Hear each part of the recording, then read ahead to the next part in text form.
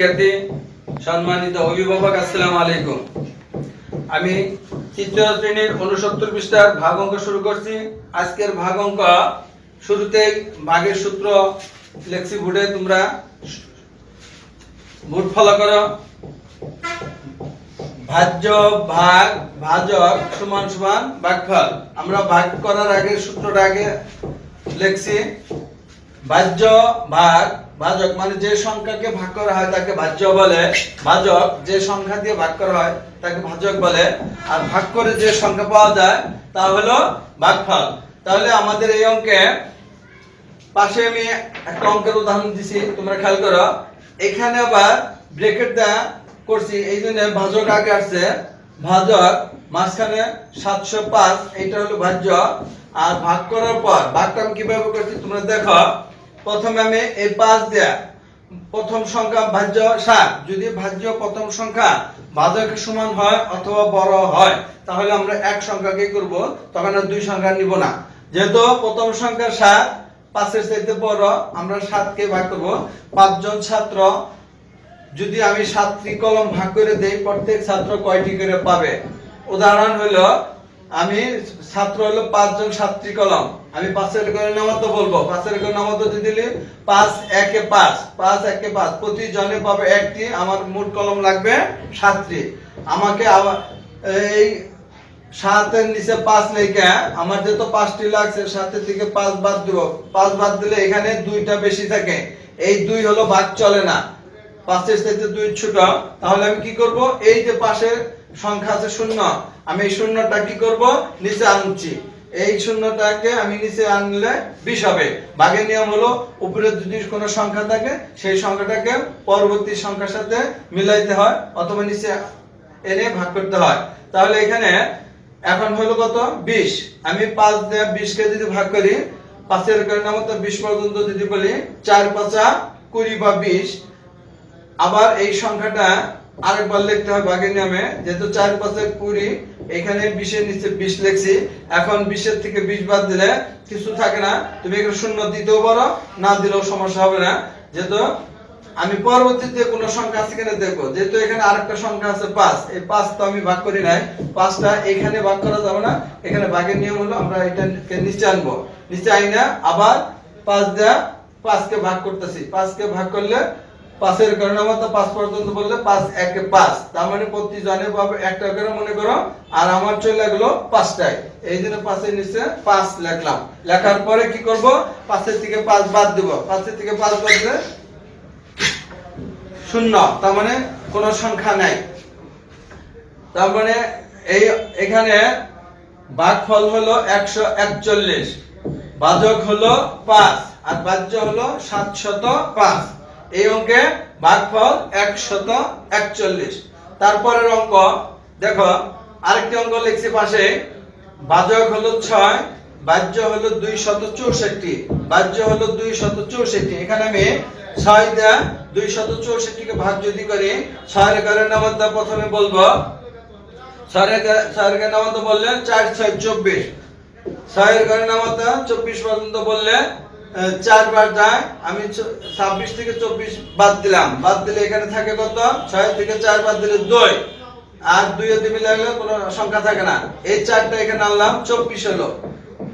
ছয়ের কারণে আমাদের চব্বিশ পর্যন্ত আবারও যদি বলে, কত হবে? চার ছয় চব্বিশ। এখানে চার ছয় চব্বিশ। তার মানে এইটার অঙ্কের ফল হলো চুয়াল্লিশ। এই অঙ্কের ভাগ ফল হলো চুয়াল্লিশ ভাগ শেষ কোনো সংখ্যা নেই, শূন্য। কোন সংখ্যা না থাকলে ওইখানে শূন্য দিলেই চলে।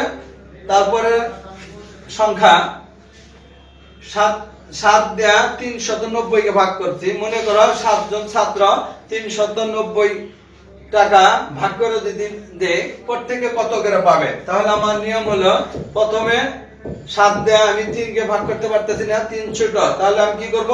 দুইটি সংখ্যা নিয়ে করব দুই সংখ্যা নিয়ে হলো কত? উনচল্লিশ। উনচল্লিশ কে সাত দিয়ে ভাগ করলে পাঁচ সাতটা পঁয়ত্রিশ। পাঁচ সাতটা পঁয়ত্রিশ। উনচল্লিশের নিচে পঁয়ত্রিশ আবার লিখতে হবে। পাঁচ সাতটা পঁয়ত্রিশ। উনচল্লিশ থেকে পঁয়ত্রিশ বিয়োগ করলে এখানে নয় থেকে পাঁচ বাদ দিলে থাকে চার, তিনের থেকে তিন বাদ দিলে শূন্য। শূন্য দিলেও হবে না, দিলেও সমস্যা নাই। এখন এই যে শূন্য, আরেকটা শূন্য আছে পাশে। এই শূন্যটা আমি কি করব? নিচে নিয়ে আসব। নিচে নিয়ে আসলে কত হলো? চল্লিশ। এখন পঁয়ত্রিশ আর চল্লিশ বিয়োগ করলে এখানে পাঁচ বেশি থাকে। এইখানে এই পাঁচটাকে কি বলে? বাকশেষ এই অঙ্কে বাকশেষ আছে। এটা ভাগফল পঞ্চান্ন বাকশেষ হলো পাঁচ। তারপরে আরেকটি অঙ্ক করছি, দেখো, পাশে তিন ভাজক তিন ছয় শত আটত্রিশ কে ভাগ করতে বলা হয়েছে। তিন দিয়া ভাগ যদি করি, যেহেতু তিনের সাথে ছয় বড়, তাহলে আমি তিন দিয়া ছয় কে যদি ভাগ করি, তিন দুগুণে ছয়, দুইবার যায়, তিন দুগুণে ছয়, দুইবার যায়, ছয় থেকে ছয় বাদ দিলে এখানে কিছু থাকে না। এই যে তিন, এই তিনটা আমি নিচে আনছি, নিচে এনে ভাগ করছি। তিনকে তিন দা ভাগ করলে একবার যায়। এই তিন দা যদি আমি তিনকে ভাগ করি, একবার যাবে তিন একে তিন। এখন তিনের নিচে তিন লাগলাম এখানে কিছু নাই। আমি এই যে পাশে আট, এই আটকে আমি নিচে আনছি। নিচে আনিয়া এখানে আটকে নিচে আইনা ভাগ করছি। তিন দুগুণে ছয়। তিন দুগুণে ছয়। এখন আটের থেকে ছয় বাদ দিলে আর কোনো সংখ্যা ছয় বাদ দিলে দুই থাকে। এই অঙ্কে ভাগ শেষ হলো দুই। ভাগফল দুই শত বারো, ভাগ শেষ হলো দুই। ভাগ শেষ দুই। তারপরে আরেকটি অঙ্ক করছি এখানে। দেখো, আট দিয়া চার শত উননব্বই কে ভাগ করছি। চার শত উননব্বই কে ভাগ করলে আটের সাথে চার ছোট। তাহলে প্রথম সংখ্যা ছোট। তাহলে আমি কি করব? দুই সংখ্যা নিয়ে করব। দুই সংখ্যা নিয়ে করলে আটচল্লিশ। আটের ঘরের নাম হতে আটচল্লিশ পর্যন্ত ভাগ করলে ছয় আটটা আটচল্লিশ ছয় আটটা আটচল্লিশ। এখানে ছয় বার যায় মোট লাগল আমার আটচল্লিশ। আটচল্লিশ থেকে আটচল্লিশ করে কোনো সংখ্যা থাকে না। এই নয়টা আমি নিচে আইনে ভাগ করব। নয় নিচে আইনে ভাগ করি নয় কে নিচে আইনে ভাগ করলে আট একে আট। তার মানে নয় দেয়া এ, কে যদি ভাগ করি একবার যাবে নিচে আবার আট লিখছি। নয় থেকে আট বাদ দিলে এক বেশি থাকে। এখানে ভাগশেষ এক ভাগফল একষট্টি। আরেকটি অঙ্ক আমি নিচে সাজাইছি, দেখো, তোমাদের এই আঠারো নং অঙ্কটি। এখানে ছয় দিয়া নয় শত একত্রিশ কে ভাগ করছি। কীভাবে ভাগ করছি, দেখো, প্রথমে এখানে যেহেতু নয়, যেহেতু ছয় ছোট, তাহলে আমি এক সংখ্যাকে ভাগ করব। এক সংখ্যা ভাগ করলে ছয়- একে ছয়, একবার যাবে নয় নিচে ছয়। ছয় থেকে নয় পর্যন্ত করলে এখানে তিন বেশি থাকে যেহেতু তিন ছোট ভাগ চলে না, তাহলে আমি এই পাশের তিন আইনা এখানে নামাইছি, তেত্রিশ হয়েছে ছয় দেয়া তেত্রিশ কে ভাগলে পাঁচ, ছয়, তিরিশ। পাঁচ, ছয়, তিরিশ। তেত্রিশ থেকে তিরিশ বাদ দিলে এখানে তিন বেশি থাকে, আমি এই একটা নিচে আনলে একত্রিশ হলো। এখন আমি ছয় দেয়া একত্রিশ কে ভাগলে পাঁচ, ছয়, তিরিশ। পাঁচ, ছয়, তিরিশ।